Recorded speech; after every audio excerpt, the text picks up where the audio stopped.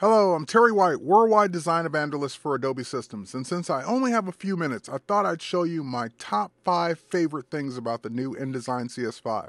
Now, this is in no way the complete list of things that are new, but these are my five favorites. So let's start off with this document. We'll go to our Pages panel, and on our Pages panel, we'll jump up to the top page here. And what I want to do is I want to right click on that page and insert a new page. And of course, it will insert that new page based on the cover here that we're going to choose and as our new page. But the difference is I can now grab the new page tool and for the first time in InDesign, you can now have multiple page sizes with different um, orientations as well. So I've just created a skinny page next to this one. The page could also be tall or wide. I now have multiple page sizes and orientations, a thing that people have been asking for for quite a long time. So we'll pop over to the layers panel. We'll take advantage of this new page we just created. We'll create or click on our cover model art there and we'll click on the background art and we'll just now expand that over to bleed onto the new page. So very happy about that. We'll go ahead and turn on the flap text that goes along with that. And cool to be able to do this and work with the new layers panel, by the way, which we can now move up uh, that particular layer and have it above the bar at the back. So cool to be able to do that. Let's go ahead and jump over to the next thing. I could spend more time here, but you get the idea. So we're just going to go ahead and switch over to page five. On page five, actually not page five, we're going to go to page six.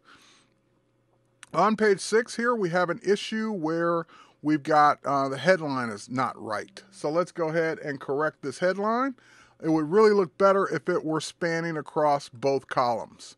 So we'll just simply go ahead and choose that. And now there's a simple command called span to that will span it across two columns and automatically balance everything else without me having to create yet a new frame and new workflow.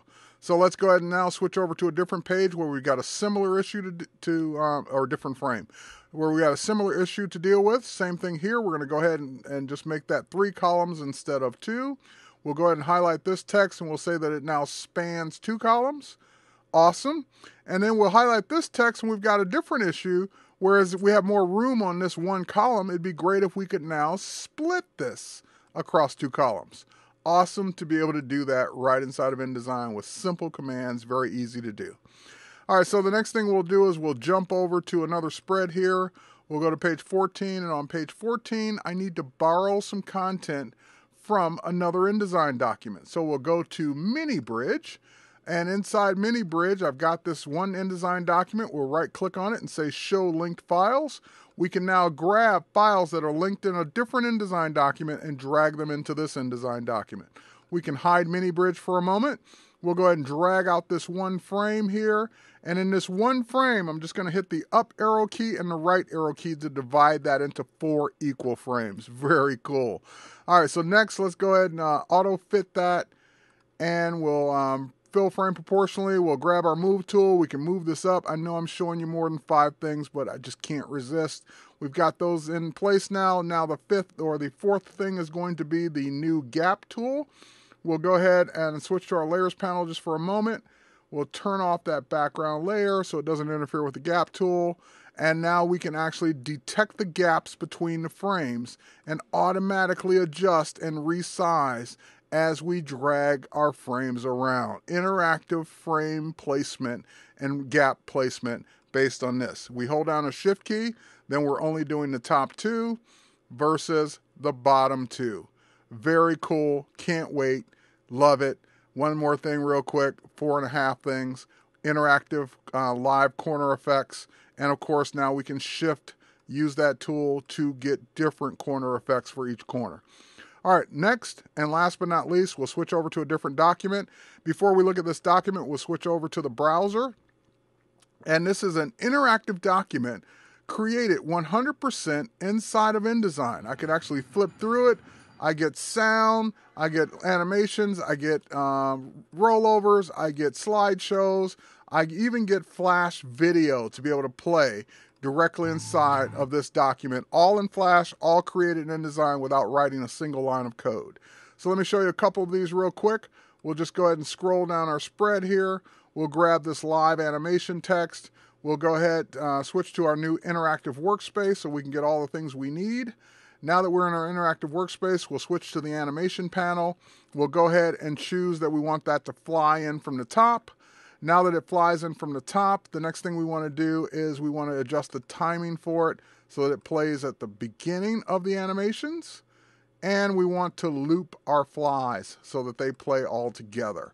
So now that we've done that, we can go ahead and preview this directly inside of InDesign. It will load an instance of the Flash player in a panel, and I get to see all my animations happen, including my rollovers. For that slideshow, we can wire that up really quickly. Just go ahead and select all of those images, align them to their lefts and tops. Next thing we'll do is we'll create a multi-state object of those images. Again, I'm doing all of this without writing a single line of code, just by choosing single or simple options and panels. Now that I've got that, we'll make the buttons actually control it. So we'll say that that goes to the previous state and the right button goes to the next state of that, of that multi-state object. And now we're ready to preview and we've got our slideshow, we've got our animation, we've got everything built and ready to go. So, creating interactive content inside of InDesign without having to write code would be my fifth thing. At this point, all I'd have to do now is export it out. I can export it out as a SWF file, ready to play, just like we saw the one in the browser, or I can export it out even as an FLA file to be opened up in Flash Professional and continue. That's it five cool, really thing, really cool things. My top favorite things inside of InDesign CS5. I will show you more as the months go on on the CreativeSuitePodcast.com. My name is Terry White. Thanks for watching.